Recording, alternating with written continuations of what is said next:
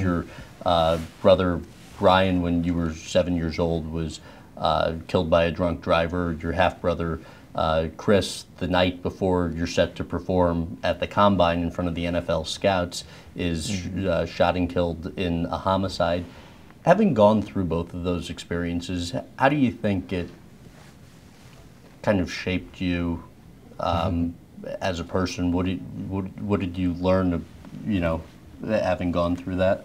Um, you know, my brother Brian, you know, uh, that happening, you know, at such a young age, and you know, and seeing it happen, and it's been a, it's a memory that I'll, I'll never lose. You know, um, running up, putting my hands on his head, calling his name, know, as he lay there, um, head swollen like three times bigger than normal, um, and that's that's something I wouldn't wish on anyone. You know, but it made me strong. You know, it, it did. What? Why do you think it made you strong? Um, because I loved my brother so much. You know, it was just me and him. You know, we did everything together. You know, I looked up to him. He was super smart, a way better athlete than me. So, and we was we was extremely fast for kids. Like we was seven, eight. We was really 15, 15 and 16 year old kids running.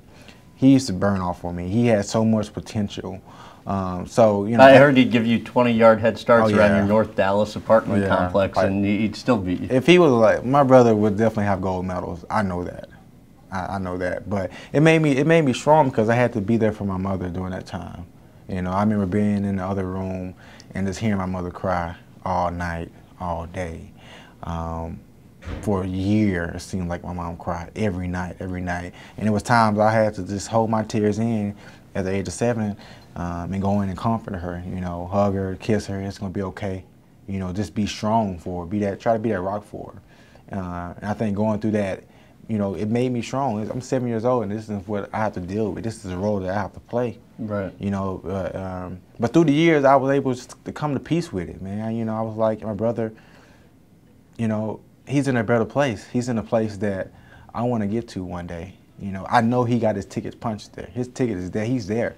And he was eight years old. You know, he, he's in there. So with that, it's comforting. You know, it, makes me happy because you know, I wish he was here, but he have to endure a lot of stuff that we have to deal with now.